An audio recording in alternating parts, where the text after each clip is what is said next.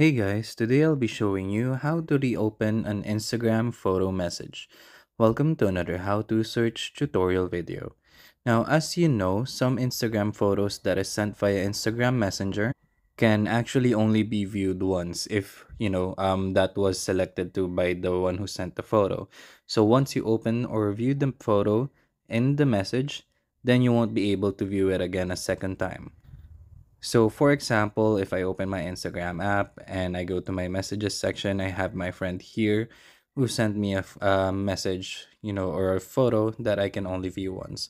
So for example, if I click on the first photo here and I open it, I will see this photo.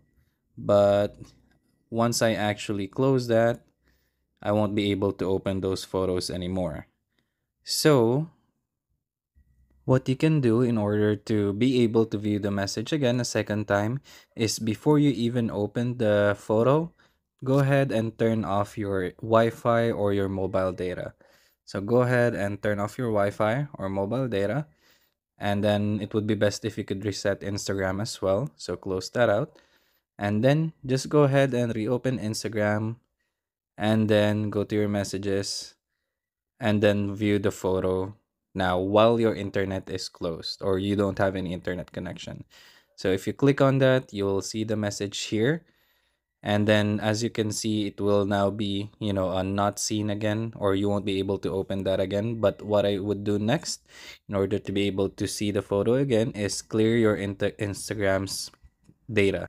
So just simply go to your Instagram's settings but you can do that by holding on the app and then this pop-up will appear and then click on the eye symbol in the upper right corner.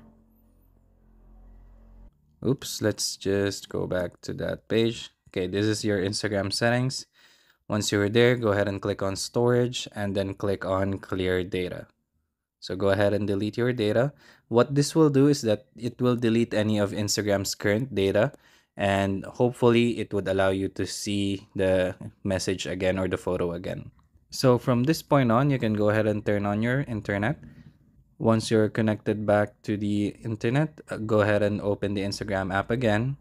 And then since you cleared your data, it will ask you to log in. So just go ahead and log in.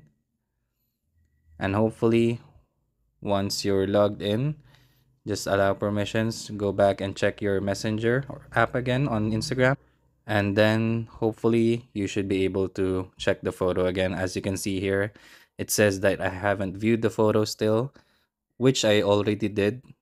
And if I click on that I'll be able to view the photo again a second time around. So that's actually a good way in order to see the photo twice at least or even more uh, more than once or more than twice. As long as you don't you know open the photo while you're connected to the internet you're you should be able to see that unlimited times right? So that's basically it. Hope you enjoyed the video. Please don't forget to hit like and subscribe. Again this is how to search and see you on the next one.